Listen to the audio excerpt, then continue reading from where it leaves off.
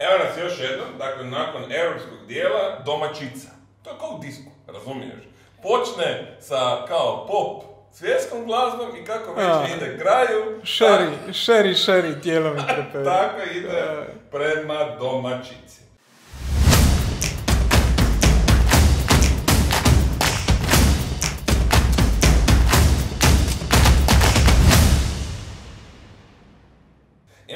S ovom najozbiljnijom domaćicom, dakle reprezentacija.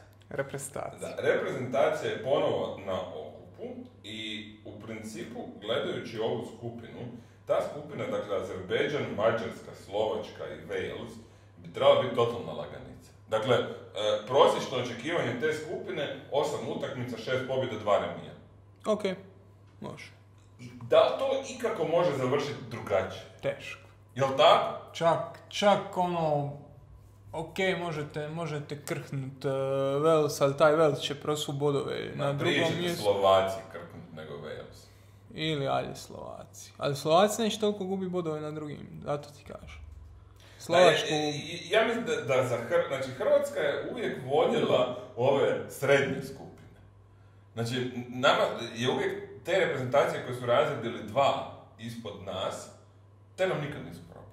Da, nam su problem što su bile u ovoj jedan razred, Ja- pola razreda. E, tako je, tako je, tako je. Ukrajina. To je to, nam to, uvijek bio te problem. Grčke ovog svijeta. E, ali ovo, ovo nam nikad nije bio problem, ne? Tako da mislim da, da, da bi Hrvatska ovo fakat lagano trebala riješiti. Ne, pa mislim da tu su ima očekivanje da, prvo da se to... to, da, uvjerljivo. A ili ono drugo, da sad neko napravi neko čudo, ali opet dobro, vodite na euro.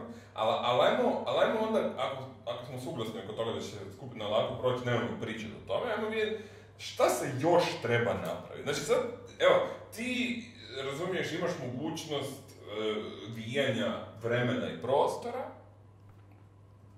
Jel to zamislimo? Ok. Ok. E, I sad, ono, možeš nešto napraviti. Šta bi prvo napravio za ovu reprezentaciju? Isprofilirao obranu. Ma nemoj reći. Da, daj malo to. Znači, Šta znači isprofilirati to? Znači, činjenica je da na lijevom beku imamo rupu, imamo Dobro. je gro vremena. Dobro? Nećemo imati više. Sosa, Dobro. Bradarić, Dobro. Čolina. Nađi dva. Nađi dva kako god znaš. Mhm. Protiv Azerbejdžana možeš tražiti. Dobro. Ne moraš danas. Ne moraš sutra. Ne moraš ni protiv... Ali u tom revanšu za, za, za- za dva mjeseca nemoj da ostaneš na Leovcu i, i Barišiću. Uvedi jednog. Mhm. Ne zanima me kojeg. Ok, slažemo se. Šta je sa mjestom desnog beka?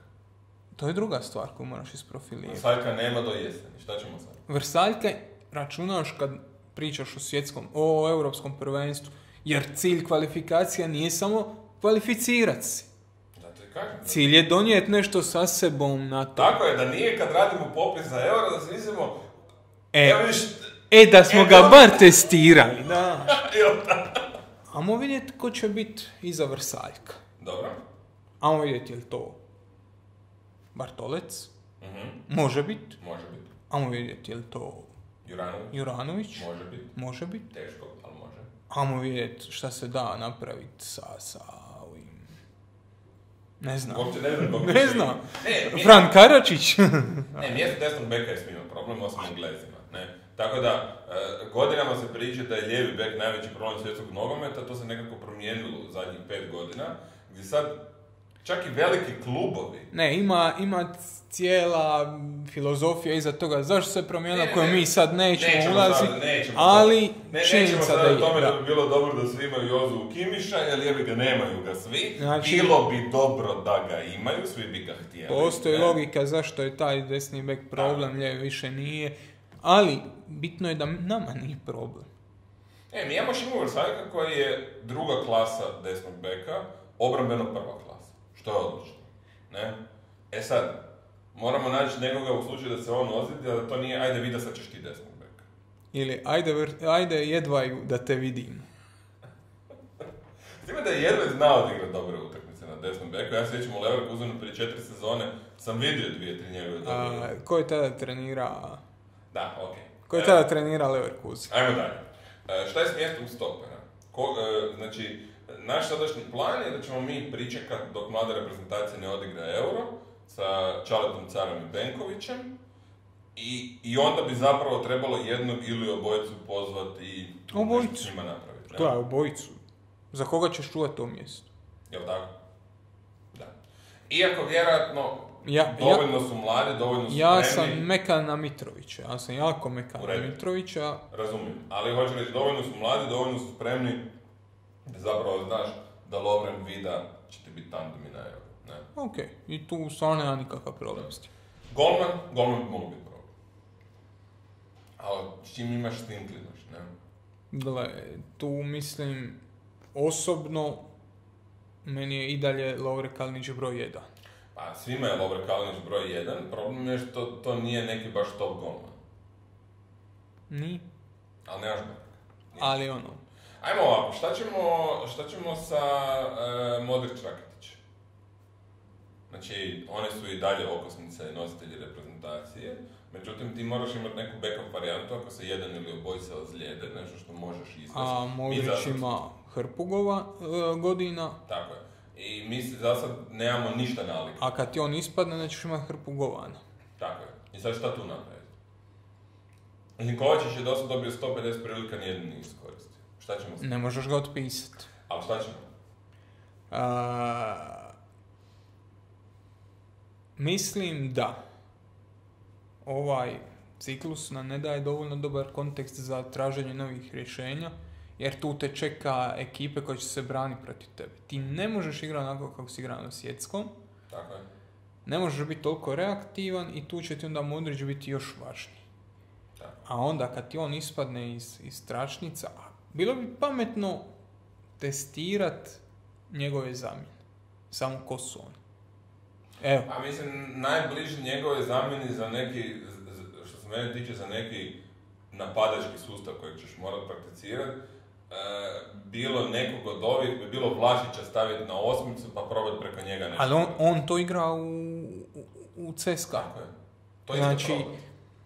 Znači, umjesto Modrića zapravo Vlašić, pa dati više ovlasti Rakitiću ili Brozoviću, pa sve U- pomaknuti jednu stepenicu. Da. To bi meni bilo I, najsmislenije. I to je za sad jedino smisleno, jer ne možeš računati da će ti se Nikola Moro još afirmirat, Palaversa još dvije godine udaljeniji, znači fali ti taj nekak, ta osmica koja, koja će ti kreirat stvari. Kužiš, tako da ja ne vidim drugo. I, I to je neka opcija koju bi ja probao. I mislim da nije loše ni probati protiv... Jedno polovrijeme, možda negdje ako vodiš 2-0, ja ne- nemam pojma, ne Ali gledaj, jer se bojiš te, i opet ne, go, ne mora to biti, kad pričamo o Azerbejdžanu i Mađarskoj, ne pričamo o današnjoj i sutrašnjoj utakmici. Da, da, da. Evo za jedno 3-4 mjeseca kad budu, jer se ti stvarno bojiš toliko Mađarske da ne možeš probati sa Brozović, Rakitić, e, Vlašić. Ili, ili Brozović, e, Ma- e, Modrić, znaš. Plus probao bi za, za moj guš dodatnu varijantu sa Rebićem kao centralnim napadačem. Nešto Pa je- to, to, smo, to, to je probao protiv e, Engleske i to je funkcioniralo odlično. Jer on igra i u Eintrachtu puno Odlično. centralnog napadača. Do duše, Eintracht je Igra- underdog naše reprezentacije. Da. gdje ima u Da. sebe Hallera igrača kako mi nemamo ni u primisli, ne? To bi bilo kao da recimo mi, kao da e, on igra u reprezentaciji uz Santinija, samo je taj Santini puno bolji, puno brži i puno sve ostalo. E, kao da on igra u reprezentaciji uz Bruna Petkovića koji je još bolji tri puta nego. E, tako je, da, da, dobro usporedno. Tako da to možemo zaboraviti, ne? Ovoga, ali neka varijanta tu postoji, ne? E, Čak se meni dopada tu varijanta da i on i Kramarić igraju centralno, pa Kramarić da Ne, preuzme neko to mjesto da. desetke i onda tu dobimo još playmakinga za neke situacije kad ćemo trebati igrati ne 4-3 nego 4-2-3-1. I to mi je okej. Da, Jer Kramarić to igra u Hoffenheimu, ne? da. I Kramarić to igra u hrvatskoj reprezentaciji, na kraju krajeva. E, dobro. Znači, ima, ima tu nešto. Ima, ima mesa, mesa, samo ne? treba, ra- samo ljudi, svaki put nas nešto iznenadi. A, to je problem. Svaki put mi ostanemo šokirani. Mi već godinama imamo problem desnog beka. Normalno. Mo- moramo ga imati. Ali mi još uvijek ne znamo koliko može Karlo Bartolec. Mi još ne znamo koliko može Josip Juranović. Možda ne mogu ni jedan ni drugi. Ali mi to moramo znati. Znači mi se ne možemo dovesti u situaciju da ćemo mi sad njih probati. Imamo Čaletu Cara i sad uh, Vidu će biti stoper. A mi znamo koliko oni mogu. Mi znamo šta mogu, šta ne mogu. I načisto smo. Sa pola pozicija mi nismo načisto. Da, da, slažem se. Ok, dobro, znači... I zato su ove kvalifikacije sa ovako laganom grupom top stvar za, za te neke stvari složi. Dobro, može. I vjerojatno će biti lakše nakon prve dvije pobjede, ako budu pobjede, ja mislim da će biti. Dobro, znači pratit ćemo šta će se od toga dogoditi, pa ćemo imati još koji podcast to iskomentirati šta se je dogodilo. Šta. Šta nije? Ok, ajmo dalje. Ajmo na Dinamo. Dinamo je izgubio od Benfike. E, bilo je nešto malo kritika i na Bjelici da je Dinamo igrao predefanzivno. Ja se slažem da su igrali predefanzivno, prepasivno. Ne. Ah, Ne, ja ne zamjerim, stvarno ne zamjerim Bjelici ni malo. Ima je šta braniti, imao je šanse da riješi utakmicu, da prođe dalje i da je Gojak zabio svoje... Niko ne bi rekao da su igrali predefanzivno. da. Benfica je toliko dobra ekipa da će ti stvoriti šanse koje je stvorila. Ti nemaš defanzivnog veznog oko more, jadnog je puhalo, kako god. Ti nisi moga, nisi ima opciju izaći u pressing. Ko će ti korigirati taj pressing? Mhm. Odnosno ne u pressing, visoki Pa pressing. ne to, Nekakav mislim, srednji ključni blok. igrači, nemaš Ademija, nemaš Nemaš Ademija. koji ti individualno puno toga donosi, razumiješ u tranziciju, u ovom, onom. Mislim, ti si baš bio hendikepiran.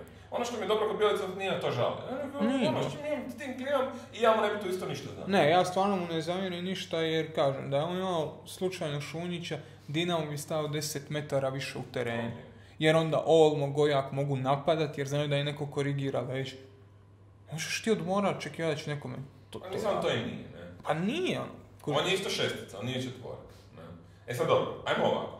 Dinamova sezona je vjerojatno najbolja sezona još od 98. Dakle, zadnjih 20 godina ovo je njihova najbolja sezona. Ono tamo kad su bili dva puta u Ligi prvaka, pogotovo ono jednu kad su u zadnjem kolu još mogli u četvrtfinale, ta je bolja. Međutim, tad si imao 7 reprezentativaca. Pa onda, To su bila neka druga vremena. da, Da. o, da, neusporedivo. E, I sad e, stvar sa Dinamom je šta će im se dogoditi ovog ljeta? Vjerojatno će otići Dani Olmo, vjerojatno će otići još par igrača. Tri. Kojih par? E, E. e, pa ja bih rekao, ja bih rekao da bi Stojanović mogao otići. On sigurno, U, za njih će, za njih će se suze ronit. Mislim da će on imati ponuda, ovoga, jer desnih, desnih bekova nema.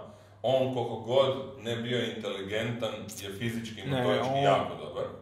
Ne bi rekao da on neinteligentan, bi, ok, rekao bi da je neinteligentan, ali on je toliko nediscipliniran Ali to dolazi iz toga. i tu imaš jedan problem. Dobro? kontekst HNL-a. Koliko se njemu u HNL-u gluposti tolerira od strane jasno, jasno. sudaca, on se nije mogao ni naviknuti igrati normalno. On je najnediscipliniraniji Dinamo igrač godinama unatrag. Se. I on da je dobio par kartona onako, znaš, pedagoških. Onda mu, se ne, onda mu se ne bi dogodilo ovo što mu se dogodilo tu. Ne, ma to, to su stare priče, to sve znamo.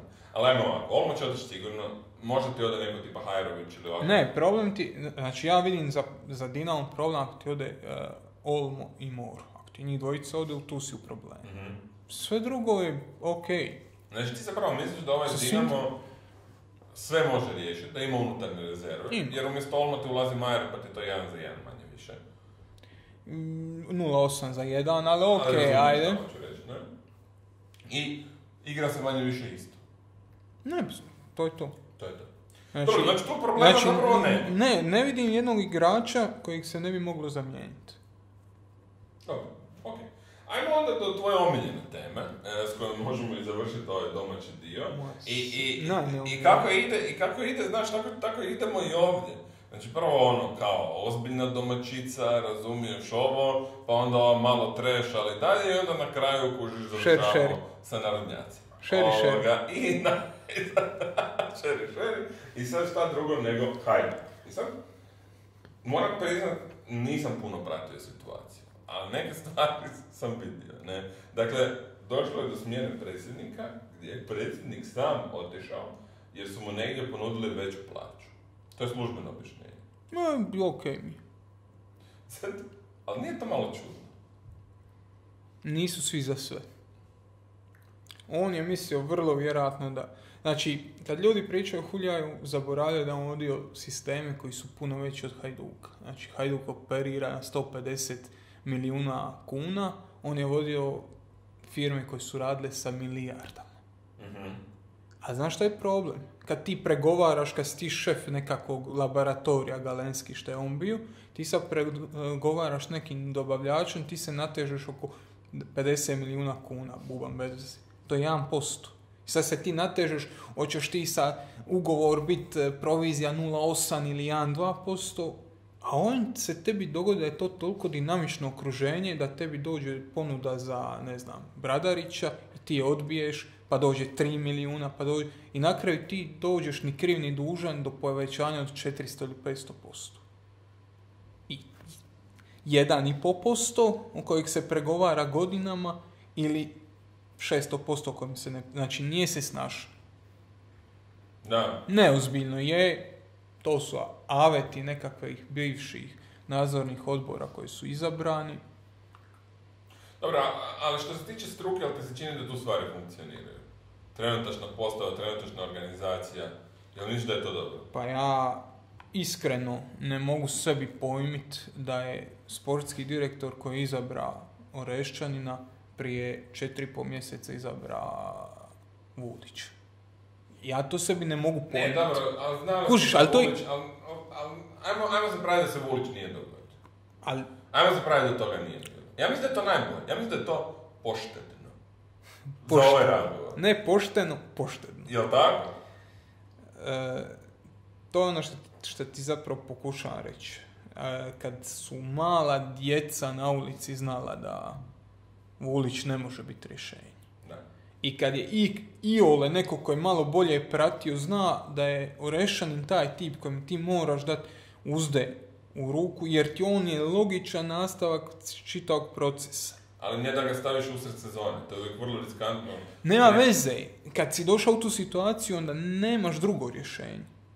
Nije pitanje on dobro ili loše rješenje kad je jedino rješenje. Ako se o tome, ako sam ja ovakav, kakav sam o tome mogao trubit pet puta, pa, znaš, ono, ako smo meni bilo logično da valjda i njima koji su unutra trebalo bi logično. Ok, i sad, ono, Rešen je trener, Bjelanović je dalje sportski direktor, ne? E, love nema koliko je bilo prije, koliko razumijem. Definira što znači nema love. Zalihe, znači sad... Ma ima, ima, znaš čemu ima zalihe, evo sad si prodao ovoga e, Palaversu, tebi će na ljeto otići e, Bradarić jer ga ne možeš zadržati. Tebi će bi taj Bradarić po svemu treba donijeti 10 milijuna eura. Ali misliš da hoće? Mislim da hoće jer kužiš, tu su bile ponude od 7 i kusur milijuna koje su se odbijale u zimu. A znaš da je ljeti to još... Dobro. Ne, ok, onda imaš dosta perspektive. Dobro, ajmo ovako, znači, e, Palaversi te ostaje još dvije sezone. Sezonu i po, da. Da, e, razvijaš ga za City, ali dobro, ti od njega možeš... Ali nemaš boljeg, da? Ne možeš. E, imaš neke unutarnje rezerve i sad, šta bi zapravo Hajduk tu treba napraviti da ode na korak više? Da, da, Ne divljat. dobro, Jedan put u životu ne divljat. N- ne vuć poteze preko koljena. Ne divljat. N- Nemoj. Ne mora svaka lopta ići naprijed. Pa smiri s golmanom, pa odigraj. Znaš ono, jasko repeš. Ne može greška na grešku. Ako se u bonusu nemaš šutova s Ne, 9 ja. metara. You are taking shots from 9 meters. Guys. I so Arsenal visok i, tako. Znači, to Hajduku treba. Samo malo smirenosti. Dobro, ajmo onda ovako, ključno pitanje. Koliko je Hajduk trenutačno daleko od Dinama? 15 bodova. 15 bodova. Koliko može to smanjiti za sljedeću sezonu? U nekom prosječnom. Ne, Hajduk je sad 20, i- ali Ne, ne, objektivno govorimo- koliko bi trebao biti. Ova sezona je gotova. Znači, govorimo prosječno očekivanje Hajduka je Dinamo minus 15 bodova. Ok. Koliko se to može smanjiti ovog ljeta? Dobrim planom, dobrim planom.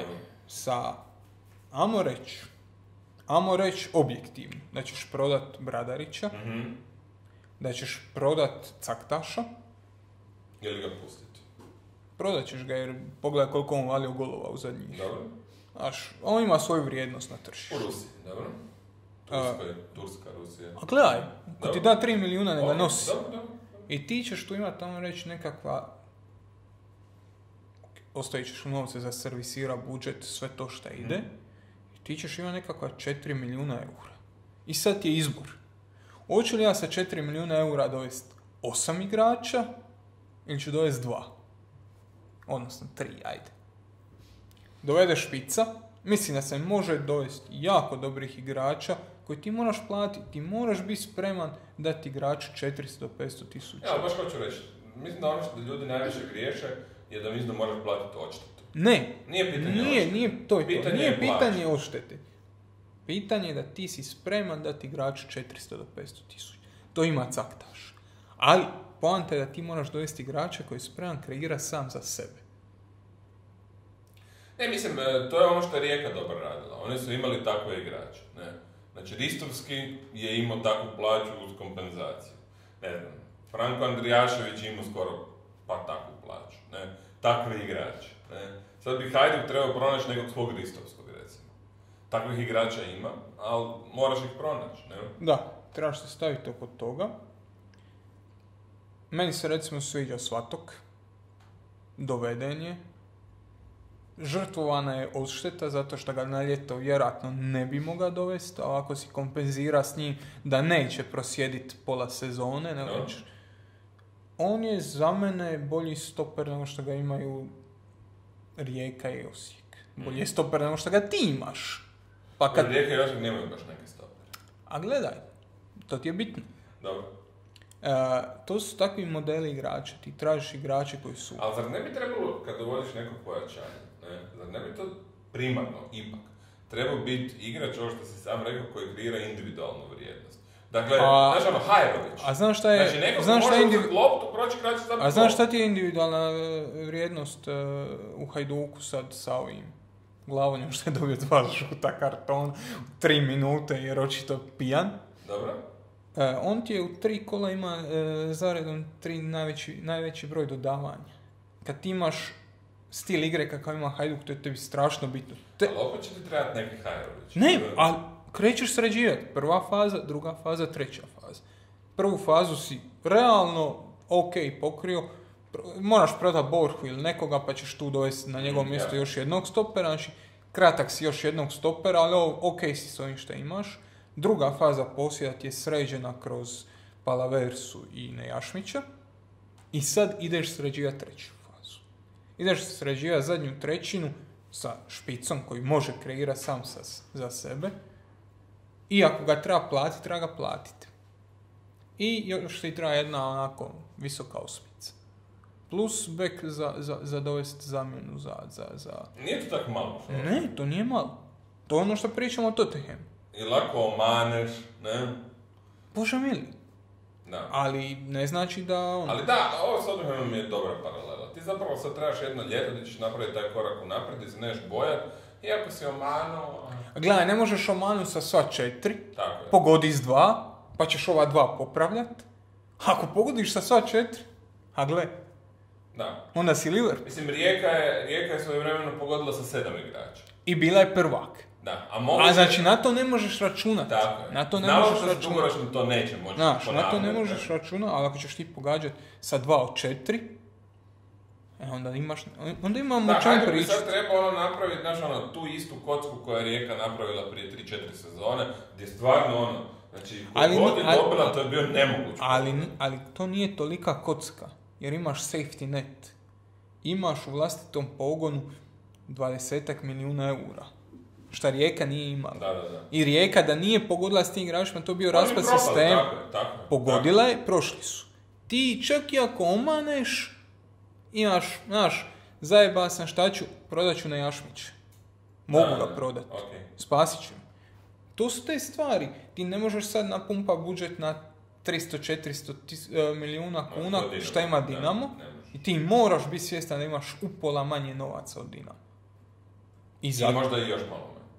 A, otprilike, ajde. Ne? Ali dobro, ali Rijeka je bila prvak sa proračunom koliko? 120-130 milijuna. Znači, Zato ali jer je ali pogodila je sve. Znači, igrača, na to ne računaš. Tražiš nešto što si dugoročno održiv. I kad ode Palaversa ti moraš znati da moraš uključiti Čubelić. Ti moraš znati.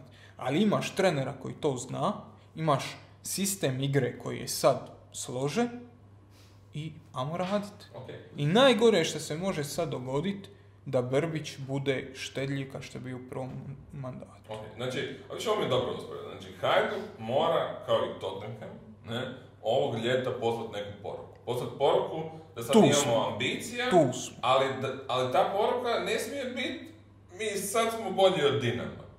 A to je glupost. Znaš? Znači, Ali to će bit, razumiješ, to će bit. Ja- jer, ja jer ja znam, ja znam da prvog osmog, nakon prve dvije pobjede u HNL-u i prolasku prvog pretkola uh, Europa lige, da, da su dolje ljudi već uvjereni da su prvaci. ja živim s tim ljudima 25 godina svog života. I, I znam da će biti. Jasno mi je i to. onda, Ali e, to što su ljudi takvi, znači li da sportski direktor mora biti takav, znači li da trener mora biti takav, znači li da predsjednik mora biti takav. Ako su i oni takvi, je, gon. U, šta, šta- o čemu, znaš, ne, razumijem. Dobro, okej. imaš, imaš situaciju koja ti je otvorena. Ali ti moraš shvatiti da si u procesu, da taj proces traje i da to neće biti riješeno Ne, ja sada. ovo što, mislim da si dobro. Ti moraš biti shvaćan u kojoj si fazi procesa. Tako je. Znači, sad će se ljudi, o, a, izgubili smo, pe-" nisi ništa izgubio. Ti si mora doći u fazu kad ti Nejašmić i Palaversa mogu preuzeti to, ti si mora doći u fazu koju ti mora preuzeti e, e, Orešćanin klu- e, klupu, ti si mora raditi do toga. Sad si došao do toga. Sad moraš raditi dalje. Ok. Dobro. Dobro. E, ajmo, ajmo samo rekapitulirati. Znači, prva stvar, glavna zadaća reprezentacije je pronaći rješenja za situacije za koje znamo da će biti problem No. jednom kad dođemo Ne, ne može nas iznenaditi. Da, ne smije nas iznenaditi pozicija desnog beka, ne smije nas iznenaditi pozicija lijevog beka, pogotovo ne lijevog, ti imamo dobre igrače. Znači, ne smije zamje... e, znači mi moramo, ajde da, da još mi, e, mi moramo naći zamjenu za Vrsaljka i dva lijeva beka. Za mene će lijevi bek neće biti problem, to će riješiti samo od sebe. Da, ali Desni bek će biti problem, ali mora se nešto pronaći. I mora se pronaći, dakle, element igre, bilo sa Kramarićem ili sa Vlašćem ili sa nekim trećim, gdje će se naći modalitet bez Luke Modrića. da. Ok, Da. to je reprezentacija. Dinamo, tu se nema šta reći, odlična sezona, Bjelica super, nije ništa kriv. protiv i Dinamo je, i Dinamo je doveo e, osam igrača na, na ljeto i pogodio sa Sa osam. pet. S kim je promašio? Pa, Moharame nije. Moharami, Moharami je meni bolji bek od e, Stojana. Ne, ali da su pogodili s pet, ja odmah potpišem da pogodim s pet od osam. Normalno. Daj mi papir. Ja Pa s, s tim, s tim Barcelona ne pogodi. Kužiš, dovedeš Malkoma, onda gledaš u njega di ću, šta ću. Znači Dinamo sve super, ovo je dobar primjer, pogodili sa svim igračima i Hajduk mora biti svjesni u kojoj su fazi, kakvi igrači sad trebaju, ako su toga svjesni, onda mogu. Znači, Hajduk je do sad imao situaciju koju je stvarno morao krpat 8-9 igrača. Sad ima situaciju, recimo kad dodaje Caktaš, za očekivati je da će otići. Imaš Tonija Teklića, imaš Sahitija i imaš Tahira. Tu si već ekipira nešto. I ne možeš sad dovesti još jednog u tu Još rotaciju. pakira. Ako, će, ako ćeš dovest, on mora biti onda top. Znači, Hajduku sad trebaju 3 do 4 igrača. dobro. To je to. Mislim da smo prošli svu domaćicu. E, mislim da nismo čak išli puno ni u šundu kod domaćice, znači zadržali smo se na Stavrosu, recimo, ne? E, to je to. E, hvala vam na gledanju i slušanju i ništa, dok nam se Miho ne vrati ponovo, to je to čao. Adio. Hvala ti.